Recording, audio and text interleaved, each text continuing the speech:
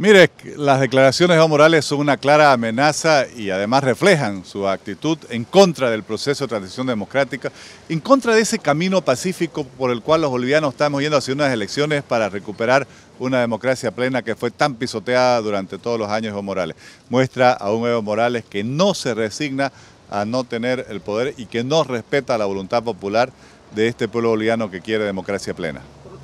mismo más eh, amenaza con iniciar acciones judiciales, recursos por la inhabilitación, pero otra facción también dice que ya debe buscar simplemente un reemplazo. La resolución del Tribunal Supremo Electoral es inapelable y es un Tribunal Supremo Electoral independiente y el MAS obviamente tiene que respetar estas resoluciones. Y aquí obviamente hay un, problema, yo diría un dilema eh, en el MAS van a ser el partido que para lo único que va a servir es para buscar darle impunidad a Evo Morales para que no responda por todos los abusos que cometió durante sus tres gestiones de gobierno, para que no responda por el fraude electoral, para que no responda por la violencia que promovió después de las elecciones, o van a ser un partido que se enmarque en la democracia boliviana y proyecte nuevo liderazgo que se, por así decir, depure de todas esas personas que lamentablemente a lo único que apuestan es a su propio interés personal y evitar responder por los abusos que cometieron durante tantos años de autoritarismo y corrupción. Catacora asegura que habría persecución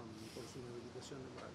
Bolivia es una democracia plena gracias a que ya Evo Morales no está en el poder. Lo que pasa es que no pueden haber personas como Morales que consideran que tienen el privilegio de no respetar la Constitución. Nuestra Carta Magna es clara, quien no reside en Bolivia no puede ser candidato, hay que tener por lo menos dos años de residencia para ser candidato a senador. Obviamente él vive como asilado en Argentina, antes estuvo en México, no cumple con los requisitos y debe respetar la ley.